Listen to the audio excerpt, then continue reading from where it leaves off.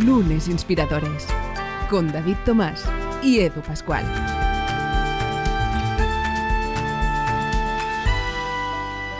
¿Qué tal? Bienvenidas y bienvenidos a Lunes Inspiradores hoy en un nuevo capítulo donde tendremos ocasión de descubrir ese camino que todos buscamos alguna vez o que incluso tenemos muchos actualmente como meta hacia la realización personal, entre otros muchísimos aprendizajes eh, que tienen en cuenta pues evidentemente el desarrollo personal. Por eso hoy tenemos con nosotros a una autora, a una auténtica experta eh, en estos eh, temas que además fue pionera en traer todo esto que ahora muchos se llenan la boca, ¿no? Que es el tema del mindfulness, ¿no? Pues bien, ah, hoy aprenderemos muchísimo, de verdad. Hoy es de esos que nos lo vamos a tomar con calma, si no, no, no, no tendría ningún tipo de sentido hablar de mindfulness y estar nerviosos todo el rato. David Tomás, ¿cómo estás? Bienvenido.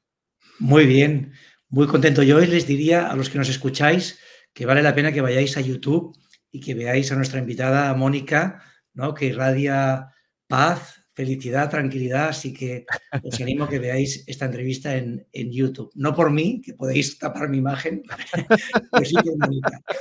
No, hombre, no. ¿Qué va, qué va? Porque con la buena cara que pones últimamente, si estás, estás estupendo. No, hombre, no, pero sí que es verdad que, buena falta nos hace, oye, tomárnoslo con calma y disfrutar ah, del vídeo en nuestro canal de YouTube y evidentemente, pues, del audio en las plataformas, en vuestras plataformas de podcast ah, favoritas.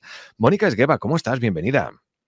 Pues muy contenta de estar aquí con vosotros. Lo único que la voz me va a salir un poco de ultratumba porque estoy un poco resfriada, pero haremos lo que se pueda. Nada, como nos lo vamos a tomar con calma, al final, oye, si hace falta, susurramos. Eso no es problema. Gracias, Mónica, por acompañarnos. De verdad, hoy será un lujo eh, charlar contigo. Pero antes de preguntarte y saber cómo son tus lunes, eh, hoy, pues como, y como cada semana, descubrimos el reto líder que nos plantea David Tomás. David, ¿qué nos planteas esta vez? Voy a arrancar también. Tengo que avisar que mi voz está bajo mínimos. Yo ayer tenía, estuve como casi nueve horas seguidas eh, dando conferencias y la verdad es que me he quedado sin voz. Pero vamos al reto líder, espero que podáis seguir. Si no, Edu, siempre tenemos tu voz para... Seguro que sí. Mira, hoy además voy a coger una cita que Mónica eh, menciona en su libro Cuando sea feliz, ¿no? que, que reeditó hace un par de años y que publicó hace más de 10 y es todo, todo un éxito en ventas. La cita es de Cicerón y decía, la gratitud no es solo la virtud más grande, sino la madre de todas las demás. Así que para mí el reto de esta semana consiste en preguntarte cómo puedes tener más presente la gratitud en tu vida la gratitud en tu vida, cómo tenerla más presente y cómo saber aceptarla y qué bien sienta dar las gracias y qué bien sienta recibirlas también, las cosas como son. ¿eh? Mm. Bueno, pues eh, sin duda este es el reto líder de esta semana que ya sabéis que podéis pues ya no solo ah, aplicar, eso es lo interesante, sino luego también comentar etiquetando a David Tomás, que él encantado de que no solo pues evidentemente compartáis vuestros resultados, sino también, oye, de, de comentar eh, vuestros maravillosos eh, comentarios, valga la redundancia. Pues bien, Mónica, si te parece, vamos a descubrir cómo son los lunes. ¿Qué es para ti un lunes, Mónica? Pues yo creo que hay una gran diferencia entre mi vida pasada, cuando yo era economista y, trabajaba para, una escuela de negocios en, en Fontainebleau, en Francia, en el que los lunes era un horror. O sea, yo solo pensar que llegaba el lunes, ya el domingo me ponía mala casi de pensarlo. Y sí, lo pasaba mal, lo pasaba mal. Eh, me ponía nerviosa, me ponía ya, con, con, intranquilidad de la que me iba a caer cuando volviera a la oficina. Y cuando cambié de vida, que esto ya hace bastantes años, cuando cambié de vida, pues los lunes pasaron a ser un día más, un día en el que me, me levanto con entusiasmo y a ver qué depara esta semana que va a haber de cosas interesantes y, sobre todo es el entusiasmo. Para mí los lunes son ahora entusiasmo y antes era pues casi casi eh, eso, ansiedad. Así que bueno, todo depende a lo que uno se dedique. Creo que cuando uno está muy alineado con lo que, con su pasión, con, su, con sus talentos, no es lo mismo que cuando vas a la oficina porque dices tengo que ganarme dinero para pagar las, las deudas o tengo que pagar la, eh, las facturas, ¿no? Entonces, lo ideal sería que pudiéramos ver los lunes pues con, con ese entusiasmo, que yo entiendo que, que todos son etapas también en la vida. Sí, no, está claro, la vida es una montaña rusa, pero oye, de que ese entusiasmo uh, no, no, falle, no falle nunca, la verdad es que qué maravilla y qué manera de, de, de, definir los lunes de nuestra invitada de hoy. David, vamos a descubrir cómo es la trayectoria de nuestra invitada, que como os decía hoy, tomar buena nota, que buena falta nos hace todos, tomárnoslo todo con un poquito más de calma. Adelante.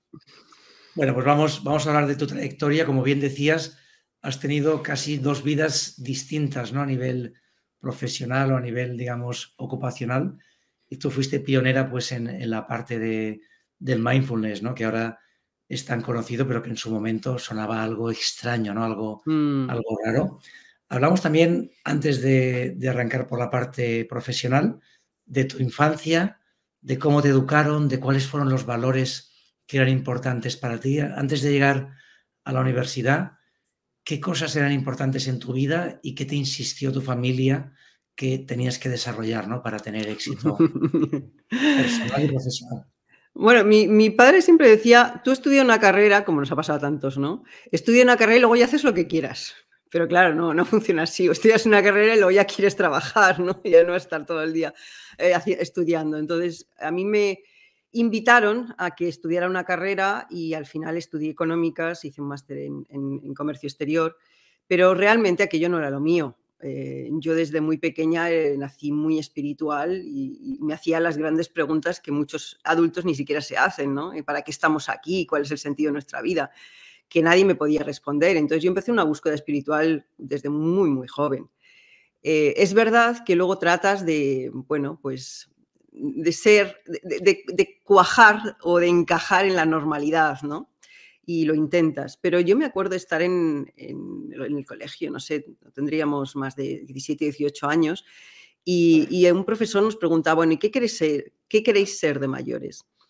Y, y, yo me acuerdo que la gente decía pues las cosas típicas, pues yo quiero tener un buen trabajo, yo quiero tener éxito profesional, yo quiero casarme y encontrar la pareja de mi vida, yo quiero formar una familia, bueno, pues bueno, cosas normales.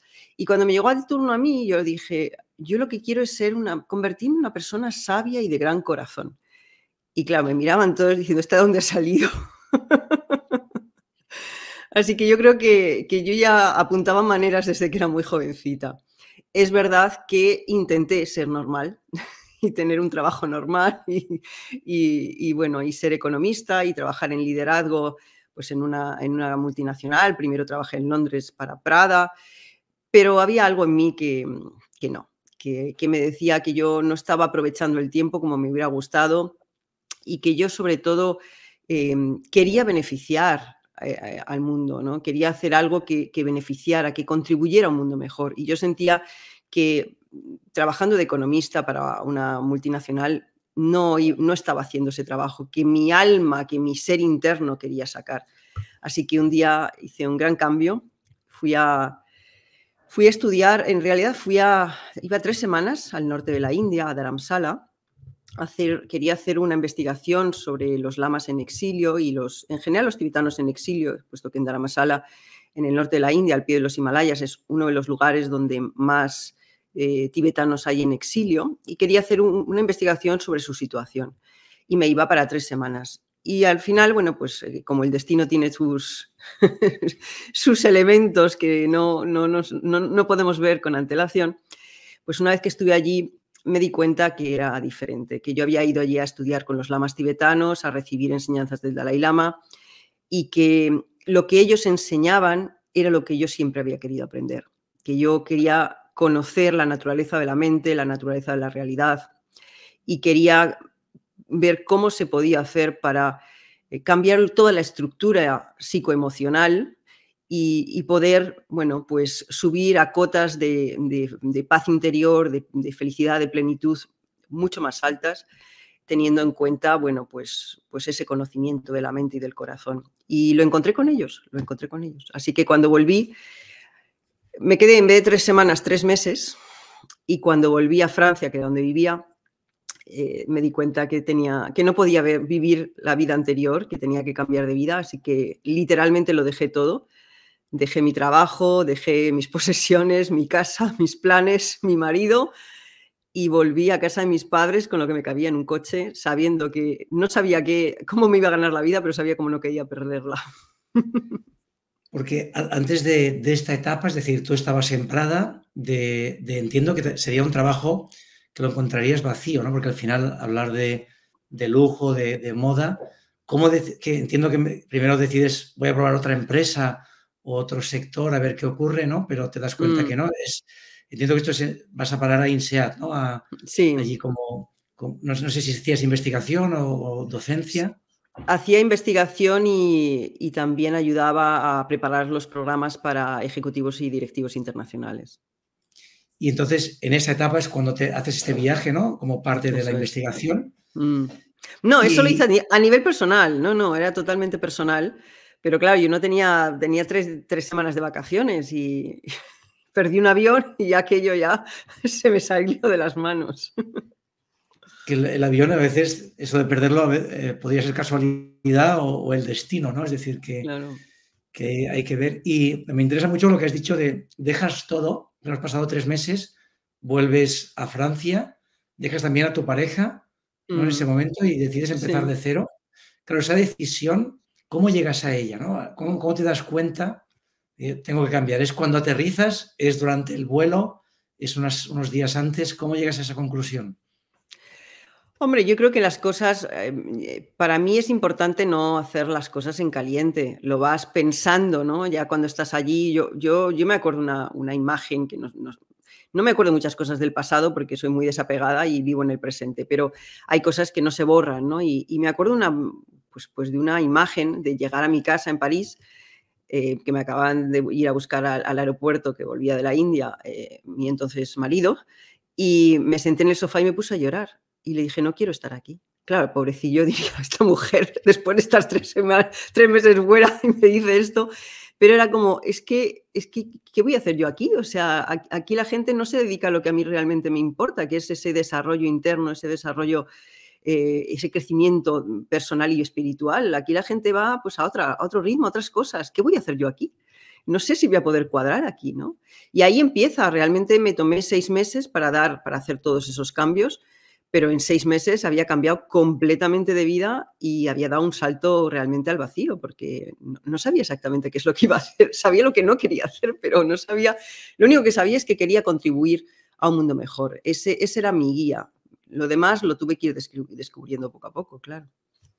¿Y cómo descubres lo que querías hacer, no? ¿Cómo llegas hasta la situación actual, no? Hasta, oye, pues eh, traer, traer toda la parte del mindfulness, la meditación, ayudar a muchas personas, ¿no? Que se puede ver en tu, en tu página web, ¿no? Que, mm. que, impactas empresas también, personas reconocidas, ¿no? Personajes públicos que, que han trabajado contigo y que les has ayudado. ¿Cómo consigues encontrar tu camino? Pues yo diría que es, es, paso a paso. Eh, todos soñamos con tenerlo todo clarísimo y que de repente se ilumine así como con una luz esta de película, que se ilumine todo el camino y se ve exactamente a dónde vas a ir. Ojalá fuera así de fácil. Yo creo que mi experiencia personal y ayudando a mucha gente esto no funciona así. Yo creo que vas, se va haciendo camino al andar, ¿no? Como decía Machado. Vas dando un paso y, cuando haces ese paso se abre el siguiente y el siguiente abre el siguiente. Entonces, yo lo que tenía muy claro es que tenía que tener una buena formación. Claro, viniendo además del INSEAD y todo eso ya estaba muy dentro de mí. Entonces, mi, mi, formación, hice una formación, vamos a decir, mm, occidental y oriental. ¿no? Entonces, en la parte occidental Em, casi toda mi formación fue en Estados Unidos. Entonces me, formé en, en, UCLA, en UCLA, en, mindfulness, en el MIT, estudiando eh, pues, eh, psicología y neurociencias, haciendo pues, em, estudios de especialización.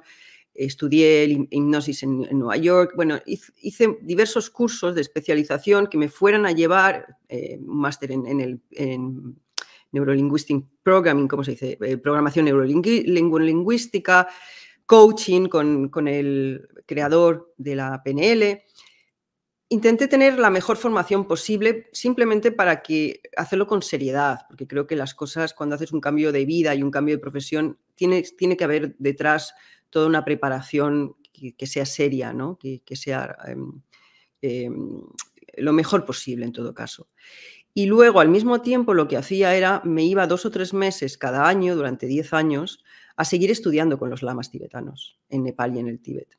De tal manera que en, muchos aspectos yo creo que soy un poco puente entre Oriente y Occidente, ¿no? entonces un poco hago un poco síntesis ¿no? de, de esa mente occidental que tenemos, porque por algo he nacido occidental, pero muchas cosas que aprender de siglos y siglos en las que los budistas llevan estudiando la mente, el corazón y tienen mucha sabiduría. En, nuestra psicología y nuestra psiquiatría llevamos ciento y poco años.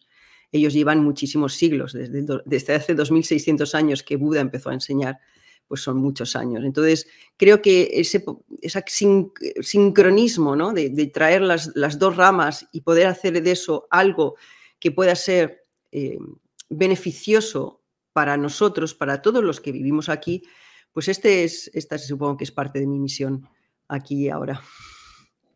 Oye, ¿cómo es un día en un monasterio budista en, el Tíbet? ¿no? ¿Cómo es el día a día? Y para ti, ¿cuál ha sido ese momento más de iluminación que, puedas contar o puedas compartir?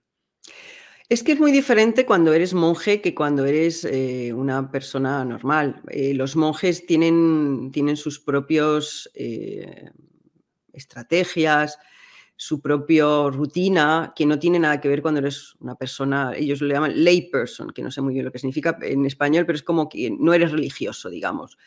Que esta es otra de las cosas, yo jamás tomé los votos, ni siquiera como budista, o sea, que yo nunca me he convertido al budismo ni a ninguna otra religión, por la sencilla razón de que yo tengo mi camino, entonces me gusta poder tener la libertad de ir eh, haciendo esa destilación de lo que yo creo que, por lo menos lo que a mí me sirve y esto es lo que siempre intento enseñar.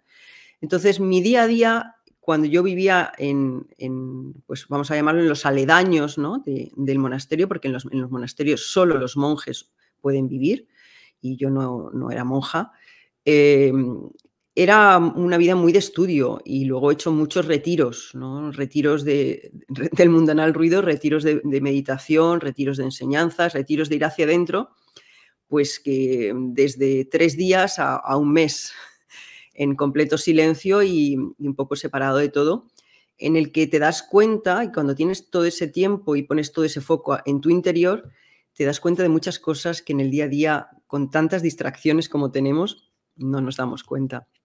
Entonces te, da la oportunidad de profundizar en ti mismo, en tu propio inconsciente, en las cosas que no tienes sanadas, en tu sombra y también en tu voz interior y en todos los recursos que tienes dentro, que, no, nos damos cuenta porque estamos tan volcados hacia afuera que creemos que eso que nos falta o eso que buscamos está afuera y te das cuenta de que no, de que está dentro. Lo que pasa es que, claro, tenemos que acallar la mente para poder escuchar esa voz que nos va guiando, ¿no? Y cuando, cuando vuelves, ¿no? ¿Cómo es el regreso? Porque claro, una cosa es estar pues en un retiro y luego volver al día a día, ¿no? En tu caso vives en Madrid, una ciudad intensa donde pasan mil cosas. ¿Cómo es esa adaptación, ¿no? ese equilibrio? Bueno, lo primero es no vivir en ninguna ciudad. Yo he vivido en, cuatro grandes ciudades, en Londres, en París, en Barcelona y en Madrid, y la decisión desde hace ya unos cuantos años ha sido no vivir en ninguna gran ciudad. Es decir, poder, poder estar en, un lugar, aunque sea cerca de la ciudad, pero en un lugar donde haya, para mí es muy importante poder tener silencio, poder tener calma. Em, que hay gente que no, que dice, bueno, a mí lo que me interesa es tener el metro al lado, poder ir andando a hacer las compras, por ejemplo, ¿no? O, o lo que sea. Yo no es mi caso. En mi caso, para mí es muy importante el silencio porque yo vivo en paz interior no, solo es que lo enseñe, es que esto es mi, esto es mi día a día. O sea, yo no puedo estar en un entorno donde hay continuamente ruidos porque necesito estar centrada, necesito estar equilibrada para poder hacer lo que, lo que hago en la vida, ¿no? Entonces, lo más importante es, una, que el volver, vuelvas a un sitio donde quieres volver. Eh, cuando yo volvía, cuando hacía viajes y volvía a París, yo me daba cuenta que no volvía y viví unos cuantos años allí, pero nunca sentí que volvía a casa. Volvía a una casa, pero no a mi hogar. No, no sentía que mi hogar estuviera allí. Y sin embargo, cuando, cuando vuelvo de viaje de, otros lugares, pues ahora sí que siento que vuelvo a mi hogar. Entonces lo hago con mucho, con mucho gusto. Entonces intento que sea, vivo mucho el presente. Entonces cuando estoy allí, estoy allí y a tope. Y cuando estoy aquí, estoy aquí y a tope. Y ya se me olvidó lo otro. Esto me, llamaba la atención, ¿no? Que decías, no, recuerdo mucho el pasado, vivo sin desapego. ¿Cómo se entrena esto? ¿Cómo ayudas a las personas a entrenar el desapego? Yo creo que el desapego es fundamental y nos lo tendrían que enseñar desde que somos pequeños, porque llevamos tantas cargas, tantos, tantos pesos ¿no? que no nos corresponden. Y uno de ellos es el pasado. Eh, estamos muy apegados al pasado, a lo que ocurrió, que ya, no, que ya no está aquí, a los que se fueron, que ya no están, a los errores que cometimos, que ya no podemos de ninguna manera solventar, a lo que nos hicieron, fíjate, ¿eh? que lo que nos hicieron cuando no, esto por qué me sucedió, y, y, no somos capaces de soltar todo esto. Entonces, claro, llevamos unas cargas que es imposible estar en serenidad en nuestro presente con esas cargas del pasado. Entonces, la, la primera, para mí, el primer desapego es, es, desapegarnos del pasado. Es que eso ya terminó. Es que por muy importante que fuera o muy dañino, es un capítulo cerrado. Entonces, con lo cual, traerlo de vuelta solo lo traes en tu mente, no existe. Entonces simplemente ser realista, no existe, ya está. Y luego nos, nos, apegamos a muchas cosas, ¿no? Nos apegamos a lo material, para empezar, y que, bueno, que, que, yo tengo la, filosofía de, de, decir, bueno, lo que tenemos ahora no es una cuestión de vivir bajo un puente, ¿no? No, es disfrútalo, pero cuando no lo tengas o cuando tengas otra cosa, disfruta de lo que tengas. No te es absolutamente necesario. Y esto para mí es fundamental. Y está el desapego pues, de, de, muchas cosas que creemos que somos nosotros, ¿no? Desapegarnos de las creencias, desapegarnos de, no, no, es que yo soy de tal equipo de fútbol, soy de tal región, soy de tal familia, soy de tal lengua. Esto, estos son constructos mentales, esto no es ninguna realidad. Entonces, el problema de todos estos apegos es que te impiden avanzar. Si fueran, bueno, si sirvieran para algo, bueno, pues todavía, pero lo único que hacen es que te impiden avanzar, porque cuando tú te identificas con algo que no eres realmente tú, porque nada de eso eres tú, son cosas que, que coges, vas cogiendo en el camino, te constriñes, y yo creo que estamos aquí todos para expandirnos. Entonces, impides tu propia expansión. Entonces, esto es lo que pasa con los apegos, que nos impiden expandirnos. Y, en el momento actual, ¿no? Yo creo que hay estadísticas, ¿no? Pero vaya, tengo la sensación que tenemos cada vez más eh, problemas de, de, salud mental. Muchas veces que se, se expresan en el trabajo y, tienen, tienen origen allí, o a veces no, ¿no? Es decir, más más estrés. No sé si es una sensación o, realmente es que, vivimos cada vez más a más velocidad y con más presión.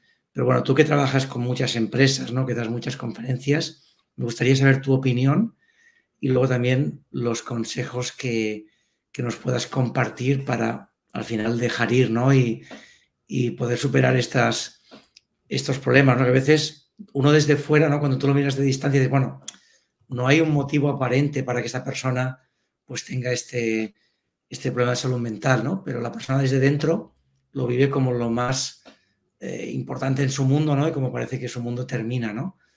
¿Cómo, mm. lo ves tú y qué consejos nos puedes compartir?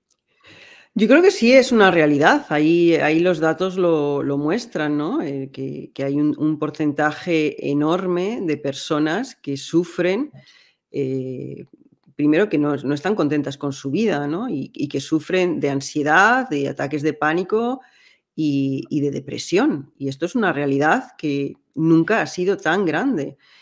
Una de cada cinco personas se toma eh, tranquilizantes y pastillas para dormir. O sea, esto estamos hablando de unos niveles enormes. Entonces, hay algo que falla. Claramente hay algo que falla. Y yo creo que, vivimos en una sociedad que es una fábrica de, crear insatisfacción permanente, de crear infelicidad, de crear ansiedad. Y, al final los seres humanos se parecen, o los individuos en esta sociedad se parecen pues, a, los, a los hámsters, ¿eh? que van corriendo cada vez más rápido en la rueda, pero no van a ningún sitio. Y, se nos ha vendido un concepto de felicidad hedónica que es totalmente falso, ¿no? Que, es, bueno, la vida tiene que ser todo un camino de placeres. Y entonces a mí me hace mucha gracia. dices, pero vamos a ver, ¿tú, tú realmente te das cuenta de, lo que estás, de, cómo estás considerando la vida y te crees todo esto que nos venden. Y simplemente comprando un poco más de esto, teniendo más de, lo otro, eh, pero estoy hablando de cosas materiales, o estoy hablando de seguidores, o estoy hablando de likes hoy en día, o estoy hablando de mayor estatus, o de crecer en la empresa, o tener más dinero en el banco, o una casa más grande. Es como si esto fuera a aportarnos pues esa ansiada serenidad, ¿no? Tranquilidad. Y como si en un momento tuviéramos tanto que ya estuviéramos protegidos y tuviéramos la seguridad suficiente para decir, bueno, ahora ya sí, ahora ya me puedo relajar y ya voy a disfrutar de la vida.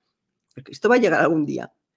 A ver, yo, he trabajado con, muchísima gente en los últimos 15, 16 años, ayudando a las transformaciones de las personas, y he trabajado con millonarios, he trabajado con, celebrities, con, líderes empresariales, y sufren exactamente de lo mismo que, el resto, porque hay subyacente, está la misma ansiedad.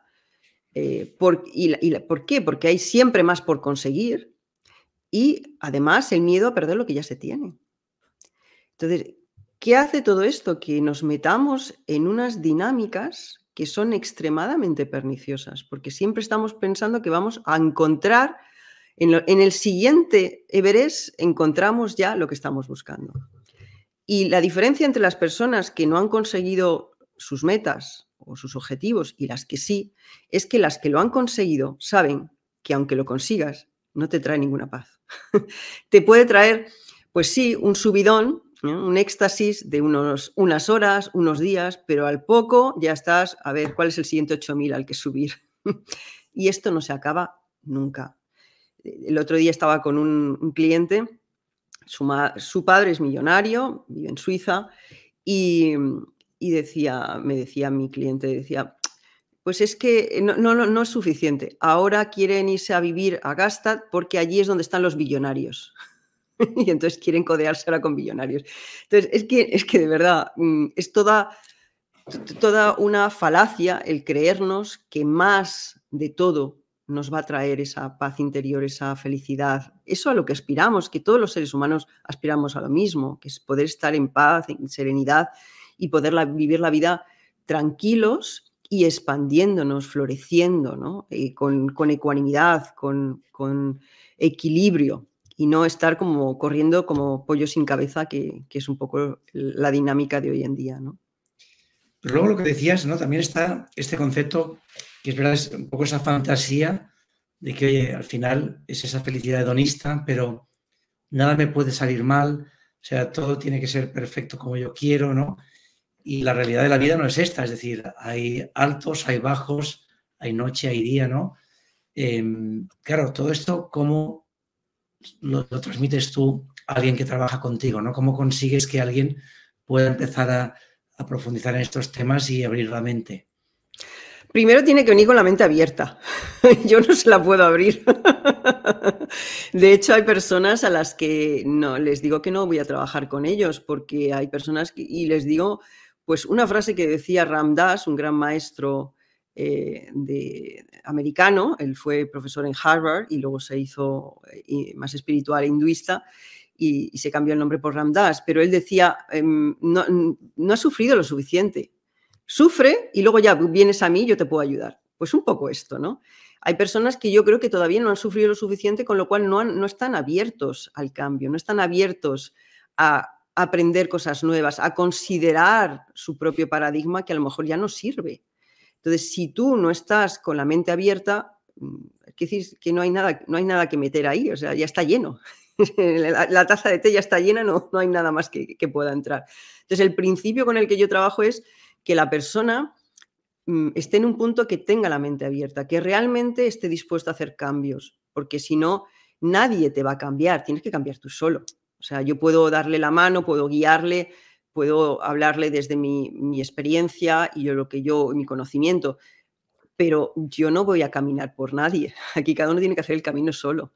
Entonces, uno tiene que estar muy preparado, muy listo y decir, venga, yo a por todas, ahora sí.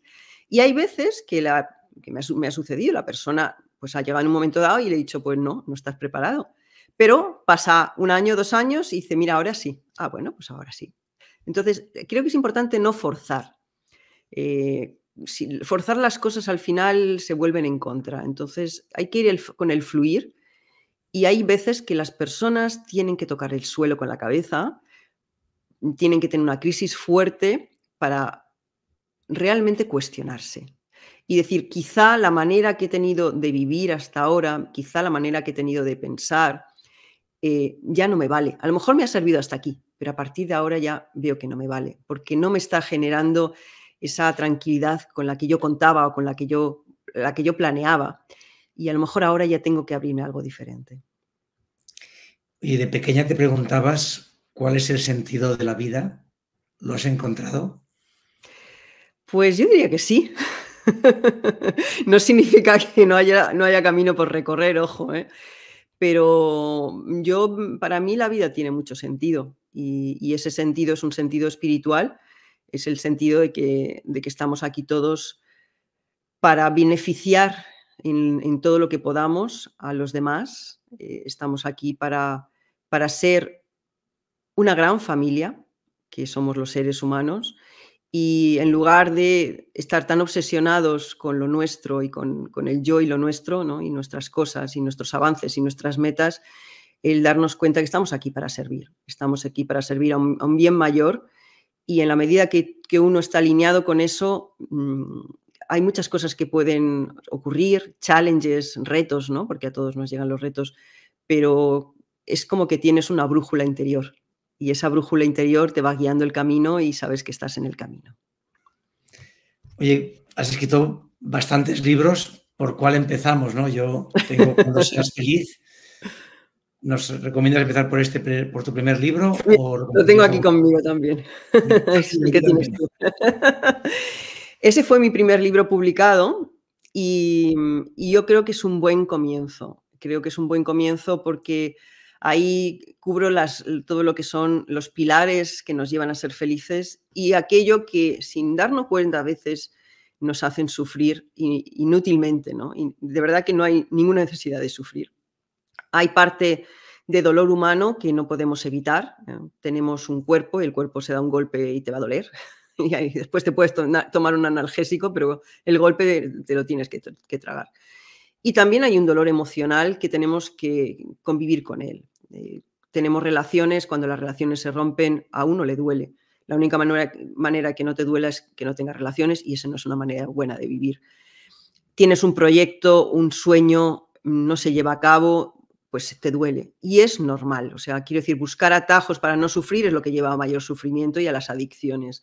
Entonces hay que tomar esa parte de dolor innato al ser humano, hay que tomarlo como algo natural. Ahora, sufrir, eso ya es cosecha propia no hay ninguna necesidad de sufrir y sufrimos pues creándonos, repitiéndonos cuando algo nos ha pasado eh, una vez que, ha sido doloroso, ¿cuántas veces nos lo repetimos en la cabeza? Esto es lo que nos hace sufrir. El apego que hablábamos antes nos hace sufrir muchísimo. Entonces hay muchas causas que se pueden evitar y todo esto, bueno, pues lo hablo en el libro y creo que es un, buen tratado. Eh, tú lo estás leyendo de manera sencilla y, al mismo tiempo sin perder profundidad. Yo creo que es un buen tratado para poder empezar. Sin duda, no, no, es un, eh, gran punto de inicio, sobre todo una forma de, empezar a reflexionar ¿no? y, ver qué cosas son importantes en, la vida. Mm. Nos hemos quedado ya sin tiempo, nos falta la última pregunta y es saber a ti quién o qué te inspira. A mí me inspiran los grandes maestros eh, que han pisado esta tierra y que de manera altruista han dedicado su vida a mejorar la vida de los demás. Estos son los que siempre me han inspirado y me siguen inspirando, porque no son muchos, la mayoría, como decíamos, eh, en este mundo individualista y egoísta y egocéntrico no es el camino que cogen, pero los pocos que han escogido ese camino eh, han beneficiado a muchos y yo desde luego me encuentro entre ellos, con lo cual esos son los que más me inspiran en la vida. Fantástico, oye, pues nos quedamos con, eh, con esta inspiración, también con tu libro Cuando sea feliz, un camino revolucionario para alcanzar la verdadera felicidad, que en eso estamos, ¿eh? tanto Edu como yo estamos en trabajar ese desapego, en buscar esa felicidad con sentido, ¿no? con, con profundidad y sobre todo en disfrutar del presente, ¿no? de, vivir el momento en el que estamos y, ahí todos los que nos escucháis también estamos en este, en este tarde del día a día y empezar los lunes de forma inspirada. ¿Verdad que sí, Edu, tú los lunes y ese camino hacia el desapego estás, estás en ello? Totalmente, totalmente. Yo tengo una cantidad de deberes desde que estoy metido en este podcast que es algo tremendo. Así que, oye. Sí, que, no te quiten el micro, ¿eh? el micro no te puedes desapegar. sí, no, sobre todo. Ah, em, y más que el micro, sobre todo la, la, voz y el poder charlar y el poder conversar. Esto a mí es lo que me da la vida. Que si no, sin ello no, no soy, no soy, no soy, no es que no sea nada, pero gran parte de mí desaparece. Oye, Mónica, ha sido un auténtico placer. Ya os lo habíamos prometido. Sin duda, hoy la cosa venía de, sobre todo, tomar buena nota de lo que nos dijera nuestra invitada de hoy. Nos eh, hemos aprendido muchísimo con tus reflexiones. Agradecer que nos hayas acompañado y seguro que tendremos ocasión de volverte a invitar más adelante, si te apetece. Muchísimas gracias. Ha sido un placer estar con vosotros dos hoy aquí. Y David, ¿qué les decimos a las inspiradoras e inspiradores en esta semana que empieza? Pues mira, hoy gracias en mayúsculas, que además tienen que ver con lo que nos ha dicho Mónica en este caso y, y nos comparten su libro, y es aplicar esa, máxima que decía Cicerón, la gratitud no es solo la virtud más grande, sino la madre de las... Así que esta semana vamos a priorizar cómo podemos tener más gratitud y disfrutar del momento. Muchísimas gracias a todos por estar aquí. La próxima semana nos volvemos a encontrar en la plataforma de podcast o en YouTube. Feliz semana a todos. Suscríbete a nuestra cuenta de iVoox, Spotify, Apple Podcast y a nuestro canal de YouTube.